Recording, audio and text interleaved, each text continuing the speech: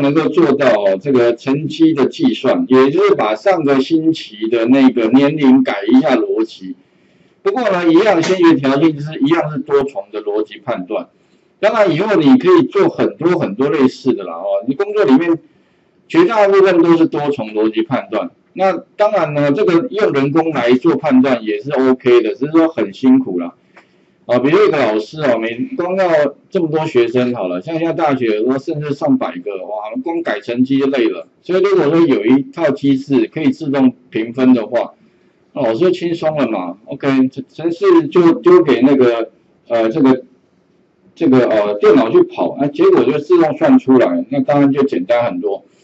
不过目前我们的城市只有一次 input，那将来如果要批次的话，可能还是要学习如何把外部的档案读进来，有没有？或者是资料库读进来，或者是网页资料读进来，爬虫一样哦。然后呢，判断完之后再输出。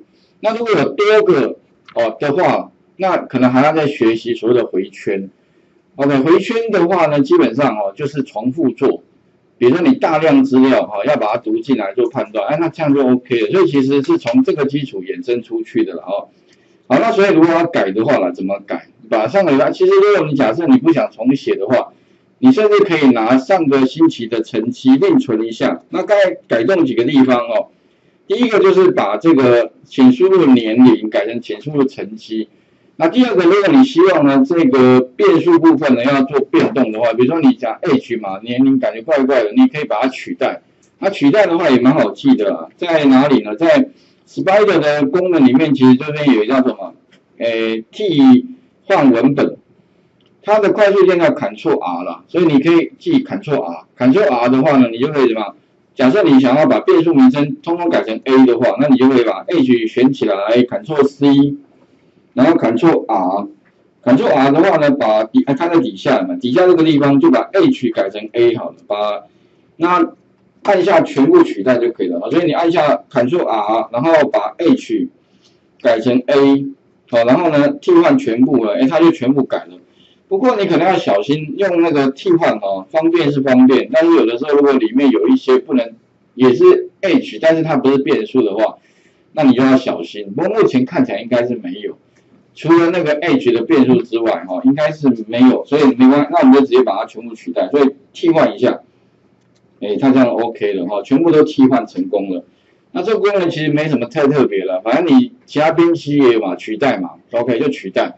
啊，程式里面假假如你找不到取代了，甚至你可以把它贴贴到记事本取代，再贴过来也可以啦，反正方法很多哦。好，然后呢，再来的话呢，我们就是判断一下什么时候是 A，所以呢，把未成年这个地方输出是 A，可是 A 的条件基本上就是要，哎，应该是八十分，哎，八十分以上，所以你就是如果 A 要大于八十分，大于 A 要等于，所以大于等于八十的话，那就输出 A，对不对哈？那什么时候是 B？B 的话呢，基本上哦，就是应该是，哎，我们写的方法，那两种啊，一种是这种，哦，一种是底下这种。那我用我先用底下这种哦，因为我我自己个人比较习惯用下面的叙述方法，就是它怎么样？它有两个判断，就是当这个乘积它输入乘积什么？哎，要是大于等于多少？应该是七十分吧？OK 哈，然后要小于小于多少？八十分嘛？OK，哦，那如果这这个逻辑，而且记得 and，and 是这两个都要为 true，它才会为 true 哦。OK，好，那所以呢，它要大于七十，那大于七十的话呢，那就是对，它大于等于是那七十以上。那因为呢，上面这个逻辑已经把八十分以前的都已经占了，所以呢，它不会哦。然后底下的话就是小于八十了哈，那这个是 B。那一样的方式啊，C 的部分哦，一样把它 Ctrl C，然后可以把它怎么样？哎，贴到底下来，贴到贴下来之后的话，当然哦，我们就是把它改动一下，这边改多少？哎，大于等于六十，OK，然后小于七十，那就是 C，OK，好，然后这边哈，剩下来的当然就不及格了，OK，好，把它改成 D。哦，OK，那这样程式就改完了。不过同学说，老师，那我这边可不可以不要 else 啊？我用 else if，然后我叙述就是 A 要小于六十，可不可以？也是可以啦，只是说这样好像没有比 else 来的精简。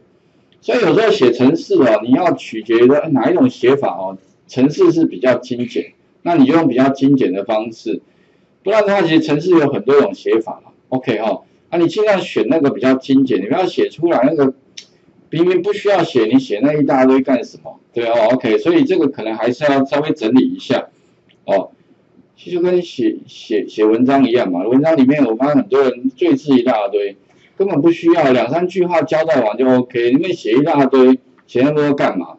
我还要讲话，也让我发现有人讲话哦，里面这个赘字非常多，什么嗯啊嗯，有点像那个主播吧，我们气象主播最多，因为气象主他本身可能本来不是那个专业，就突然跳下来要，哦没有要播报气象，就他就是讲的就很多赘字了，我不知道，就是类似像这样，写程式也是一种。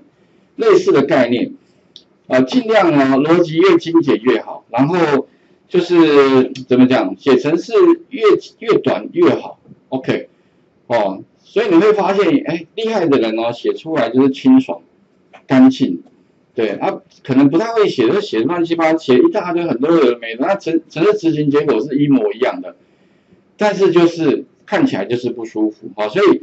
怎么样让个这个城市哦自己看的也觉得很 OK，那就是比较好的方法了。好，OK，现在呢把它执行一下。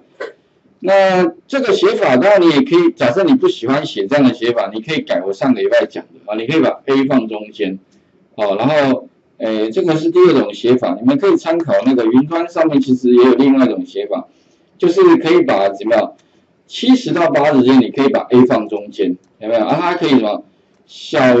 于嗯等于对等于是大于等于七十，然后小于八十，哎，类似像这样的写法。那至于哪个方法好了哈，因为有的同学习惯这种，那你就写这种。